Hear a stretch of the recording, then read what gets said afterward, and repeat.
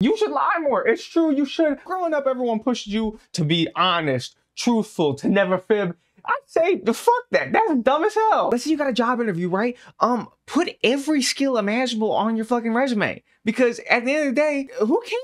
Hell yeah, you can use Excel even if you ain't never heard of it. Just eh, they'll either teach you on the job or you can watch YouTube tutorial. You'll be fine. Oh, you're a high schooler and you did something your parents said you're not supposed to do, and now they're on your ass about it? Why? Tell them a falsehood, especially if they're strict as hell. If they ain't gonna give you the room to make mistakes, you gotta take that room for yourself. Like when I was 15, I wrecked my mom's van driving down the driveway. I fucked up the tire and I bent the axle. And to this day, they don't know the reason why that happened. They think and this small little road animal ran across in front of me and I panicked. But no, I was texting and driving. Don't do that shit. It's been four years and I've lied consistently. My story has kept straight. And guess what? They've been none the wiser. And mom, if you're watching this video, hi, first of all, glad you're supporting your daughter. Secondly, what are you gonna do? Get mad at me? It's been four years. I'm an adult now. I don't live with you. And then lastly, we got the classic example of your friend with deep insecurities.